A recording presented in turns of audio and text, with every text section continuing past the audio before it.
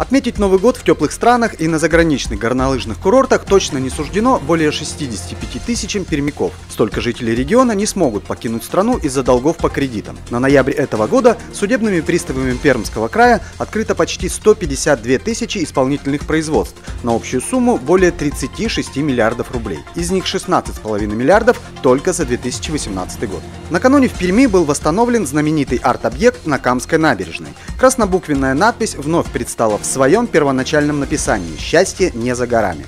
Напомним, в октябре этого года один уличный художник изменил смысл текста, заменив первое слово на смерть, после чего сам сдался в полицию и после суда получил штраф в несколько десятков тысяч рублей. Реставраторы арт-объекта сообщают, что новое пермское счастье стало крепче прежнего. Теперь его каркас изготовлен из металлических труб, а сами буквы из влагостойкой фанеры.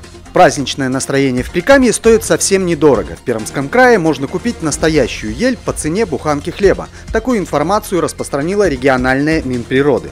Цена приобретения лесной красавицы зависит от ее размера. Если вам будет достаточно елочки высотой до метра, она обойдется всего в 16 рублей 80 копеек. Стоимость ели свыше 4 метров чуть больше 100 рублей. Но чтобы стать обладателем пушистого новогоднего символа за бесценок, необходимо обратиться в местное лесничество, оформить договор и самому срубить елочку в указанном месте. Тех же, кто попытается сделать это незаконным путем, ждет штраф от 3000 рублей с частных лиц и до 300 тысяч с юридических. Лесные рейды за нарушителями начнутся уже с 17 декабря. Новости коротко подготовил Дмитрий Сидельцев.